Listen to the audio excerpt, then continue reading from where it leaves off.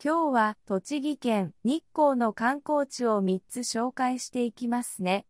華厳の滝、日光東照宮、日光江戸村の順番で紹介していきますね。東京から日光へは新幹線、普通列車、特急列車、高速バスでアクセスできます。所要時間はルートによりますが、だいたい2から3時間ほどです。日光は JR 日光駅と東武日光駅がありますが、2駅は近接しているので、どちらを目指す場合でも所要時間は変わりません。新幹線を利用する場合は、東京から宇都宮間を新幹線で移動して、宇都宮からは JR 日光線で移動します。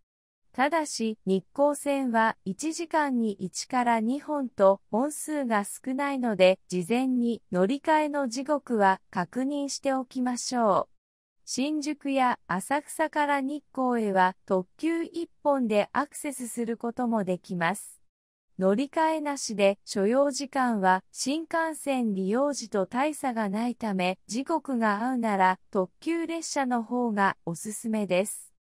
自分で日光へ行く以外にバスツアーで行く方法もあります。日帰りツアーの中には日光東照宮やいろは坂、華厳の滝、中禅寺湖の散策など有名スポットを1日で回れるコースもあります。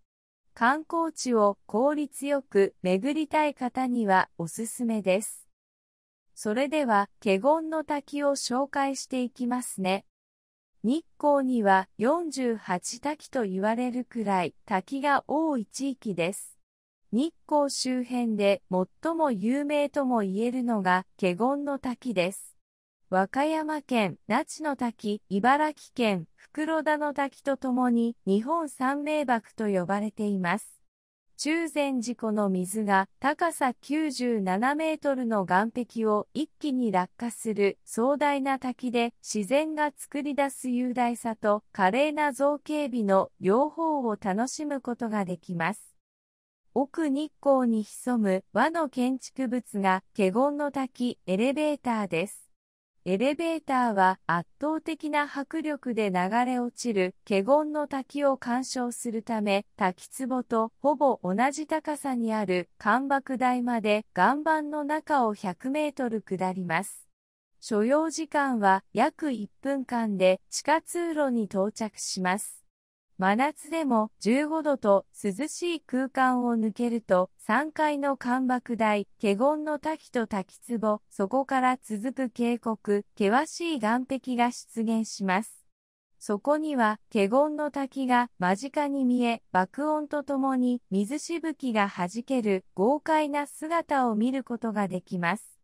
水しぶきを上げながら滝壺へと水が落ちるダイナミックな様子や岩肌の迫力、華厳の滝、周囲に流れる十二滝の美しさなどを間近で見られる絶景ポイントへご案内します。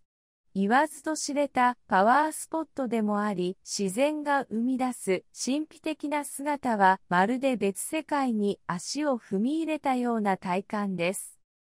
大量に舞い上がる水しぶきは太陽の光が差し込むと虹がかかり、晴れた日の早朝には光を浴びてより美しい姿を見せてくれます。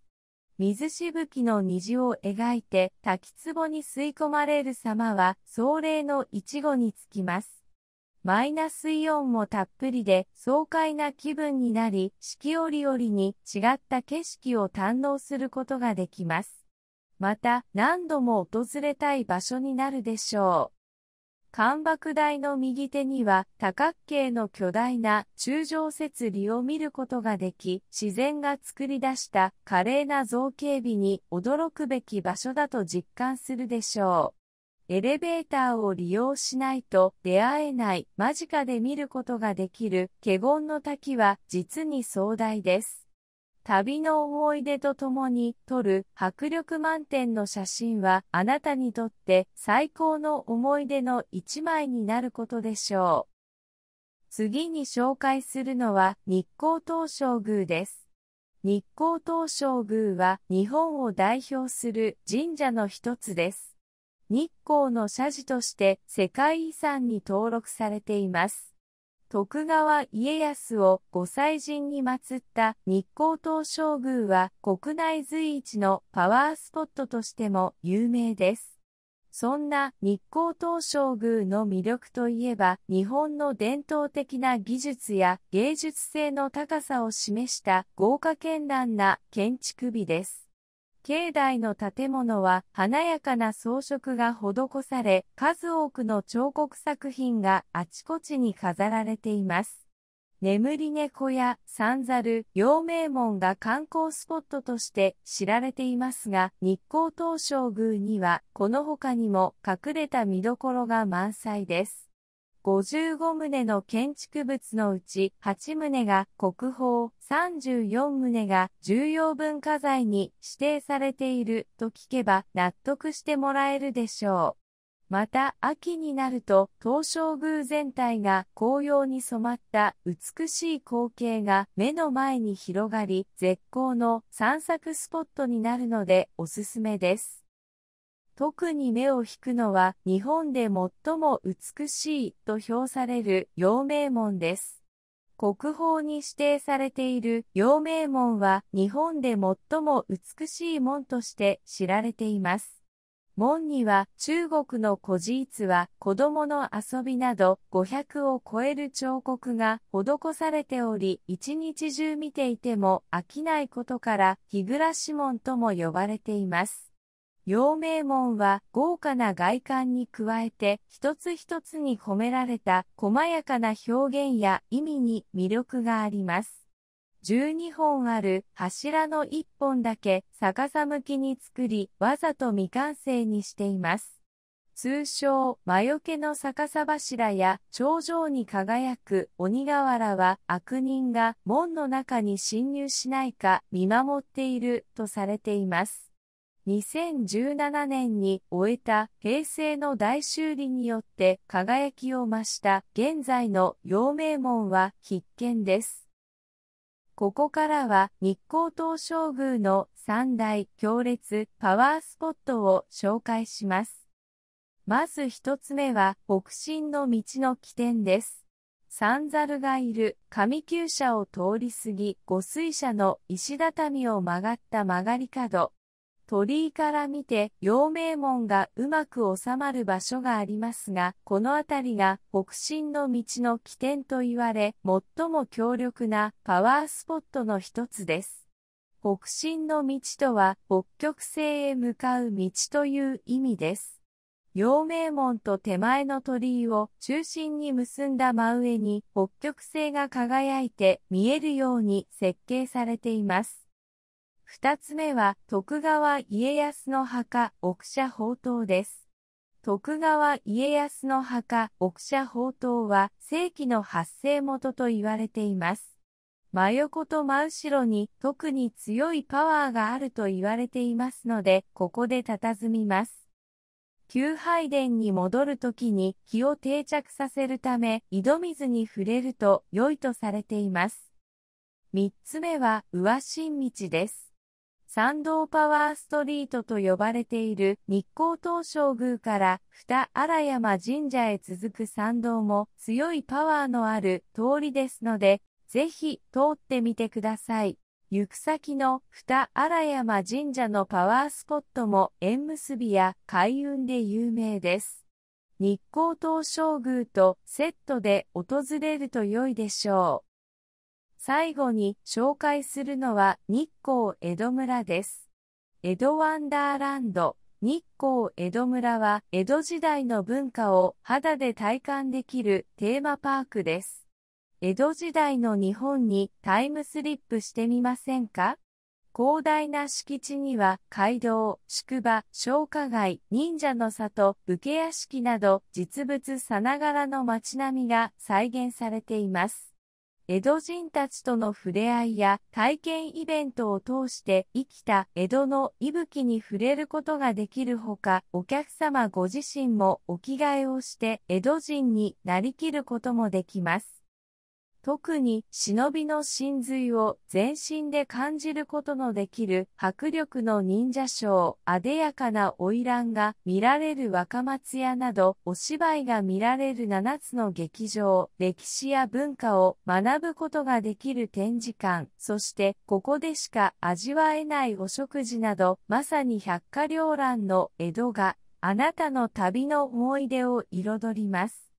演目スケジュールや体験、参加型イベントなどチェックしておくとより楽しむことができるでしょう。1日または最低でも半日の滞在をおすすめします。今日は動画を見てくれてどうもありがとうございます。グッドボタンとチャンネル登録よろしくお願いします。動画制作の励みになります。皆さんは日本のどんなことが知りたいですか？ぜひコメントで教えてくださいね。後半の動画はネイティブ日本人が話す普通のスピードになります。漢字、カタカナに振り仮名はついていません。今日は栃木県日光の観光地を3つ紹介していきますね。華厳の滝、日光東照宮、日光江戸村の順番で紹介していきますね。東京から日光へは新幹線、普通列車、特急列車、高速バスでアクセスできます。所要時間はルートによりますが、だいたい2から3時間ほどです。日光は JR 日光駅と東武日光駅がありますが、2駅は近接しているので、どちらを目指す場合でも所要時間は変わりません。新幹線を利用する場合は、東京から宇都宮間を新幹線で移動して、宇都宮からは JR 日光線で移動します。ただし、日光線は1時間に1から2本と本数が少ないので、事前に乗り換えの時刻は確認しておきましょう。新宿や浅草から日光へは特急1本でアクセスすることもできます。乗り換えなしで所要時間は新幹線利用時と大差がないため時刻が合うなら特急列車の方がおすすめです。自分で日光へ行く以外にバスツアーで行く方法もあります。日帰りツアーの中には日光東照宮やいろは坂、華厳の滝、中禅寺湖の散策など有名スポットを1日で回れるコースもあります。観光地を効率よく巡りたい方にはおすすめです。それでは、華厳の滝を紹介していきますね。日光には48滝と言われるくらい滝が多い地域です。日光周辺で最も有名とも言えるのが華厳の滝です。和歌山県那智の滝、茨城県袋田の滝とともに日本三名瀑と呼ばれています。中禅寺湖の水が高さ97メートルの岸壁を一気に落下する壮大な滝で自然が作り出す雄大さと華麗な造形美の両方を楽しむことができます。奥日光に潜む和の建築物が華厳の滝エレベーターです。エレベーターは圧倒的な迫力で流れ落ちる華厳の滝を鑑賞するため、滝壺とほぼ同じ高さにある干爆台まで岩盤の中を100メートル下ります。所要時間は約1分間で地下通路に到着します。真夏でも15度と涼しい空間を抜けると3階の干爆台、華厳の滝と滝壺、そこから続く渓谷、険しい岩壁が出現します。そこには華厳の滝が間近に見え、爆音とともに水しぶきが弾ける豪快な姿を見ることができます。水しぶきを上げながら滝壺へと水が落ちるダイナミックな様子や岩肌の迫力、華厳の滝、周囲に流れる十二滝の美しさなどを間近で見られる絶景ポイントへご案内します。言わずと知れたパワースポットでもあり、自然が生み出す神秘的な姿はまるで別世界に足を踏み入れたような体感です。大量に舞い上がる水しぶきは太陽の光が差し込むと虹がかかり、晴れた日の早朝には光を浴びてより美しい姿を見せてくれます。水しぶきの虹を描いて滝壺に吸い込まれる様は壮麗の一語につきます。マイナスイオンもたっぷりで爽快な気分になり、四季折々に違った景色を堪能することができます。また何度も訪れたい場所になるでしょう。干爆台の右手には多角形の巨大な中上設理を見ることができ、自然が作り出した華麗な造形美に驚くべき場所だと実感するでしょう。エレベーターを利用しないと出会えない間近で見ることができる華厳の滝は実に壮大です。旅の思い出とともに撮る迫力満点の写真はあなたにとって最高の思い出の一枚になることでしょう。次に紹介するのは日光東照宮です。日光東照宮は日本を代表する神社の一つです。日光の社寺として世界遺産に登録されています。徳川家康を御祭神に祀った日光東照宮は国内随一のパワースポットとしても有名です。そんな日光東照宮の魅力といえば、日本の伝統的な技術や芸術性の高さを示した豪華絢爛な建築美です。境内の建物は華やかな装飾が施され、数多くの彫刻作品があちこちに飾られています。眠り猫や三猿、陽明門が観光スポットとして知られていますが、日光東照宮にはこの他にも隠れた見どころが満載です。55棟の建築物のうち8棟が国宝、34棟が重要文化財に指定されていると聞けば納得してもらえるでしょう。また秋になると東照宮全体が紅葉に染まった美しい光景が目の前に広がり絶好の散策スポットになるのでおすすめです。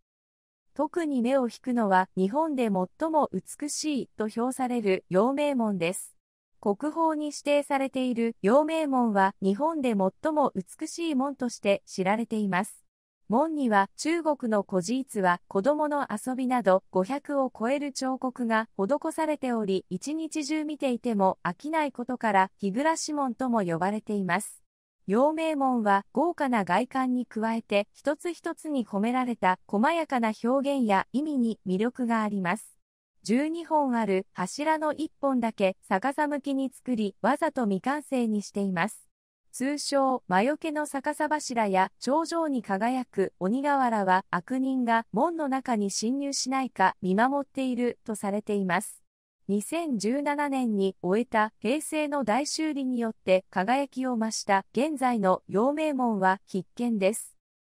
ここからは日光東照宮の三大強烈パワースポットを紹介します。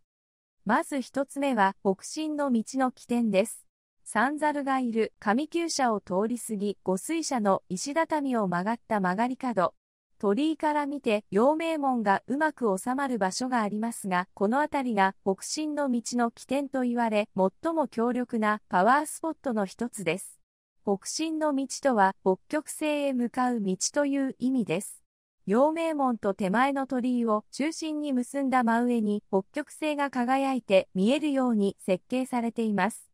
二つ目は徳川家康の墓奥社宝刀です。徳川家康の墓奥社宝刀は世紀の発生元と言われています。真横と真後ろに特に強いパワーがあると言われていますので、ここで佇みます。